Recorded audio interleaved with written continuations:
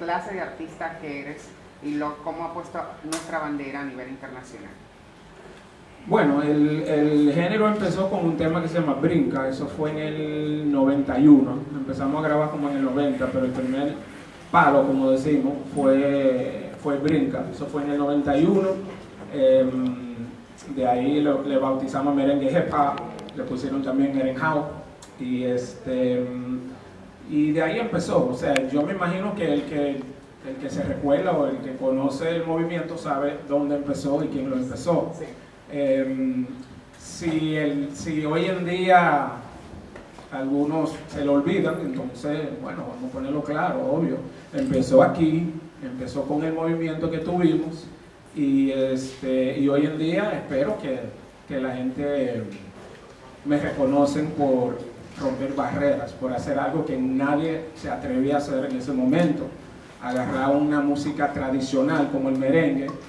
folclórico de, de, de, nuestras raíces, y, y, machucarlo con el hip hop, con el rap, con el vestuario, con, con, con todo. Y de ahí viene, porque no, no era solamente eh, elementos musicales, pero si hablamos de elementos musicales, somos los primeros de meter eh, sonidos electrónicos al merengue, o sea, meterle el boom, boom, o sea, lo que todavía se siente hoy, hoy en día como el, el 808, que es un sonido, fuimos los primeros y hoy en día yo no creo que haya una canción que sale sin eso, sea, sea mambo, sea reggaetón, sea lo que sea. Y me siento súper súper orgulloso por eso. Obviamente lo hicimos como un, como un experimento,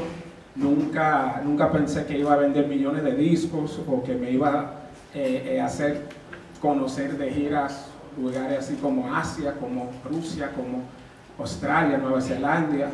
todo Latinoamérica y, y, hacer tantas cosas y que sigue hoy en día tan fuerte, o sea, con la juventud que lo veo en, en TikTok y, en ventas, porque se ven regalías.